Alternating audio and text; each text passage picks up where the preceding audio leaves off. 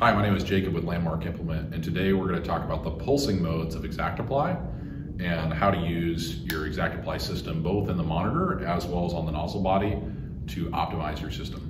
When we talk about the pulsing modes of ExactApply, it's at first important to start with the A and the B concept of a nozzle body. So on our nozzle body, we have the A and the B side denoted by the letter on the inner side of the nozzle body itself. So here we have A, and on the flip side, we have our B. The front of the nozzle body is where this little uh, pipe is coming off the front here. The back is easy to identify by the connector.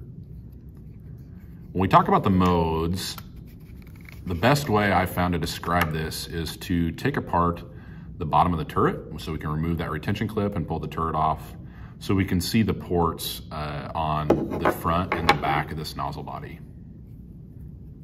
On the front of the nozzle body, you'll notice that these there are two ports and they're both open.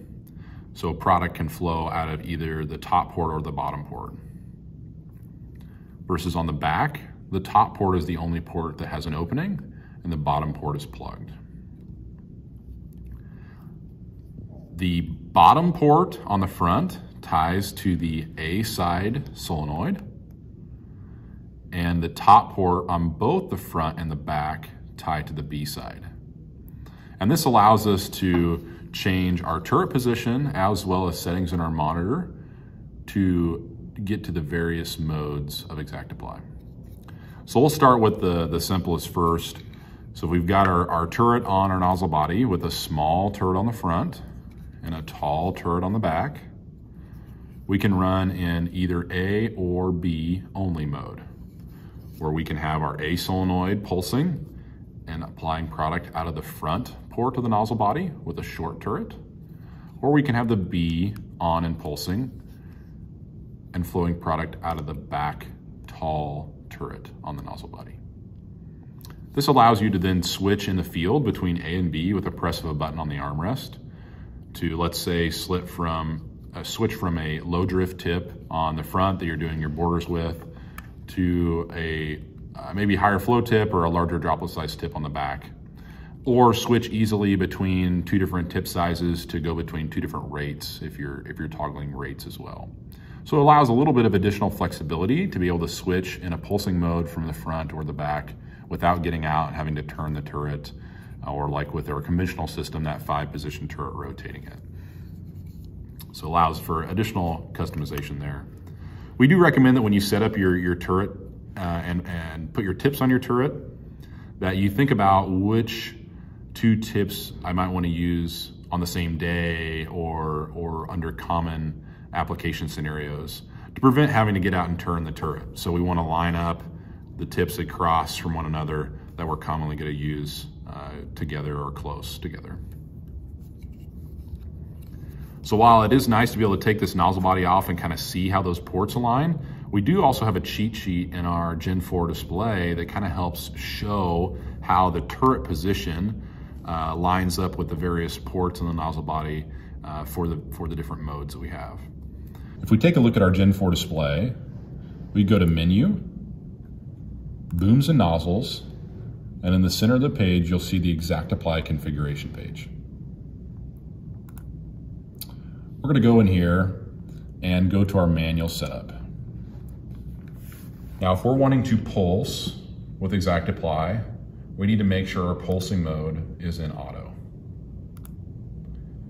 Once in auto, we can choose the target nozzle pressure we want the ExactApply system to maintain. Go back under our manual setup here where we can see our turret.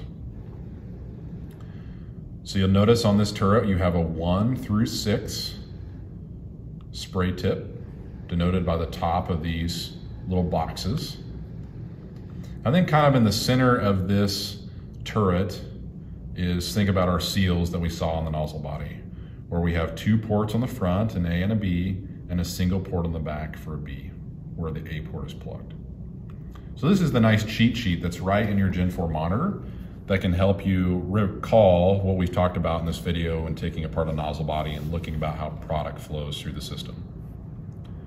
So in the case we have right now, we have an A, we're in A only mode, And you'll notice that the only pipes that are connected are this A on the front and this B on the back. That's because we have a small or a short turret on the front and a tall turret on the back. So that back tall turret can reach that top B port. So you see that's where that pipe is connected. And the short turret on the front can only reach the A. You'll notice it can't reach that B port due to the height of that turret. If I switch between A and B only mode, you'll notice that our A is no longer lit green, but our B is. This is a really easy way to tell, based on the mode selected, where chemical is gonna come out of the nozzle body when we turn our master spray on. If I switch back to A only mode, the B is grayed out and the A is back green.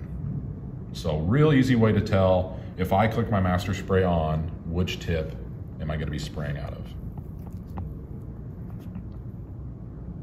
If I rotate that turret and put a tall turret on the front and have a short turret on the back, you'll notice I automatically switch to combined A plus B mode. In combined A plus B mode, both the A and the B solenoid will pulse together at 30 hertz, but all product will flow out of the tall turret in the front. So you'll see we've got both the A and the B uh, pipes tied together. If we look at our nozzle body to physically see that, we pull our turret off.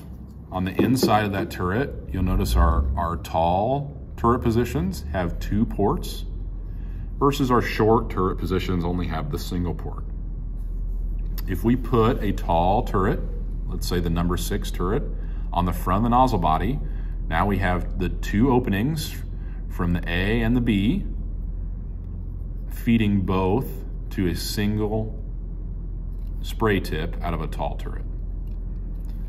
If we look at the back, you'll see we've got our plugged bottom hole and our top open on the top, but that open port on the top cannot reach that short turret. So no product is gonna come out of that back spray tip when we spray. All the product will be feeding from both the A and the B a and the B to a single spray tip. This is commonly used when we're doing high rate fertilizer applications where we need to exceed um, the limits of a single solenoid. So a single solenoid is only capable of doing 1.1 gallon per minute out of that tip versus if you're running two, that's how we get to our 2.2 gallon per minute that we can get to our, our higher fertilizer rates, you know, in that 50, 60 gallon an acre range at a reasonable speed. So common practice to use a tall turret on the front with like a large size 20 uh, flood nozzle to do high rate fertilizer. The last pulsing mode we'll look at on a nozzle body is when you want to use two tips simultaneously and pulse. So we can enable what we call A plus B mode in the monitor when if we have a short turret on the front and a tall turret on the back. And this will allow the A solenoid to feed our front spray tip and the B solenoid to feed our back spray tip. When we're in A plus B, both turrets will spray simultaneously, and this allows us to optimize coverage. One thing to note is when we're calculating our tip size, we wanna make sure that the two tips that we have selected here are appropriate for the rate that we're spraying at. So if in the, in the case of we would usually use a, a size 8 tip or a size 10 tip, we would want to split that between the two tips. So whether that's a, a 4 and a 6 to get to a 10 or a 4 and a 4 to get to an 8, something to keep in mind is the spray tip size, the total size of them combined uh, needs to needs to fit the application rate and the speed that you're running. We have a later video where you can see spray tip selection using the calculator in the Gen 4 to help with this process. Another use case of running two tips at the same time is if we're doing high rate fertilizer, but we're doing it with a prescription. So let's say we want to run a higher rate uh, or vary the rate uh, in the center of the pivot, but in the pivot corners, we're going to run a lower rate uh, to save fertilizer costs. There, instead of using a single like size 20 uh, tip for high rate fertilizer in that A plus B combined with the tall turn on the front, we could re, you could you could run two smaller tips, like two tins, and that just gives you flexibility when that prescription changes and the rate varies greatly across that field.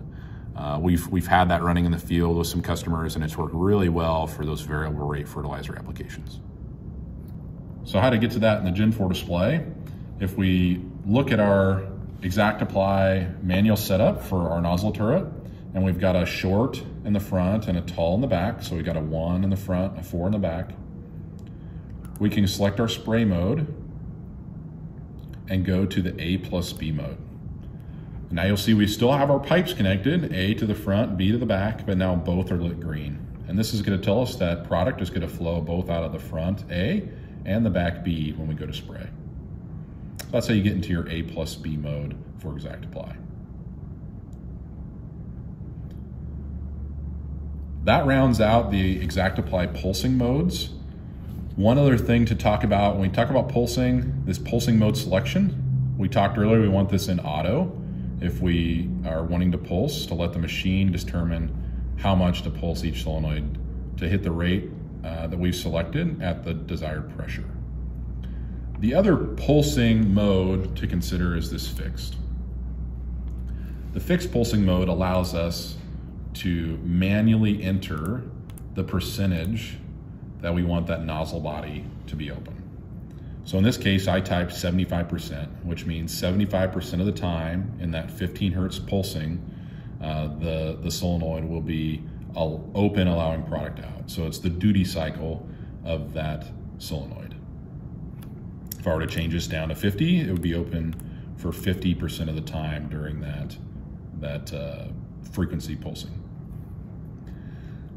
We have not found any great use of this in the field this is a, a, great thing to do when looking uh, for diagnostics, so trying to evaluate are all my nozzle bodies pulsing. You could just set a fixed pulsing rate, have in the yard, spraying water, and, and kind of check to make sure every nozzle body is working. Uh, the other use case here would be to look how a certain tip is going to pulse at a given duty cycle. So a common one to look at is what happens if I have a, a lower pulsing rate, so let's say 25%, does that spray tip hold pattern like I would like? So instead of having to get out in the field and actually spray chemical, we could be in the yard with water spraying uh, just stationary and manually fix the duty cycle to see how that spray tip's gonna perform. It's important that when we go back to spraying, we go to auto mode and let the sprayer determine the pulse percentage or the duty cycle uh, to achieve rate and maintain our target pressure. If you have any questions, feel free to leave a comment on this video or reach out to your nearest landmark location. Uh, talk to your CTS, your service department for uh, any sort of configuration, optimization, or diagnostic needs.